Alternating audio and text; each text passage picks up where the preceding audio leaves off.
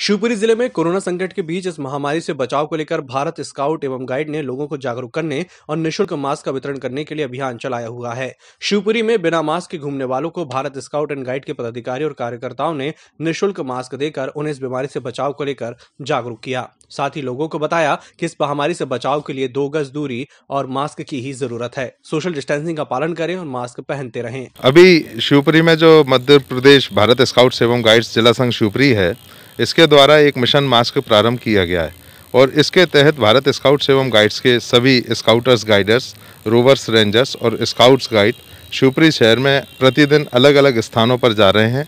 अभी हमने ये अपना ये कार्यक्रम, जो मिशन मास्क है, इसको अभी शनिवार से ही प्रारंभ करा है।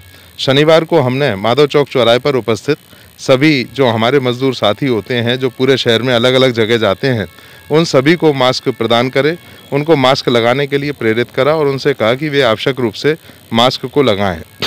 तथा हमने माधव चौक से निकलने वाले लोगों को मास्क का वितरण करा।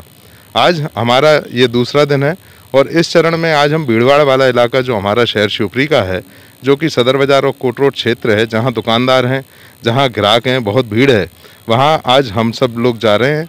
वहाँ दुकानदारों से निवेदन करेंगे कि वे स्वयं मास्क लगाएँ तथा आने वाले प्रत्येक ग्राहक को बोलें कि वो भी मास्क लगाए। अगर उनके पास मास्क नहीं हो तो दुकानदार स्वयं अपनी ओर से उन्हें मास्क प्रदान करें। शिवपुरी से ईएमएस टीवी के लिए रंजीत गुप्ता की रिपोर्ट।